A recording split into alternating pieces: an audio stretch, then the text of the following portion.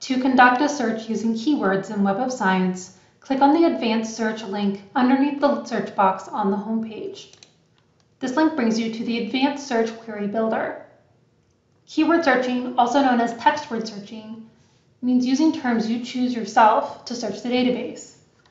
To begin, tell Web of Science which field you want to search by selecting the field from the All Fields drop-down menu. We recommend selecting the topic field. This option searches for your term in a record's title, abstract, and author-provided keywords. The topic field will show up as TS in the query preview box below. Once you've selected a field, type in your search term. For this video, I am using pet therapy. If your search term is a multi-word phrase like pet therapy, make sure to put quotation marks around it so that your search results only contain instances of when pet and therapy are used together. Then click search to view your search results.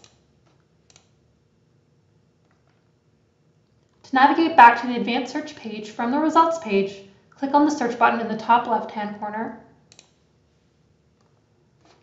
now we're going to broaden our search to include alternative word endings by using truncation. You can edit your search term in the query preview box and add an asterisk to where you consider the end of the word's root to be.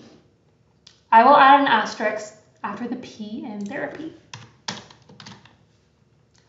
This will add alternative word endings such as pet therapies and pet therapist.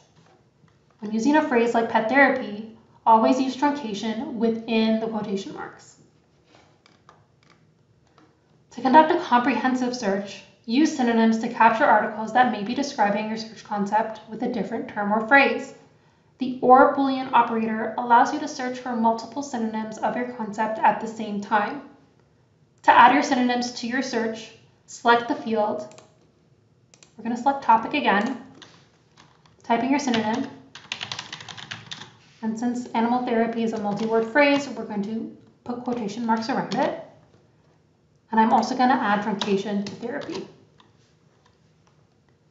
Then select OR from the drop-down menu here and press Add to Query. This will show up as TS equals pet therapy or TS equals animal therapy in the query preview box below. Then Press search to view your search results. In the next video, we will go over how to improve your keyword searches in Web of Science.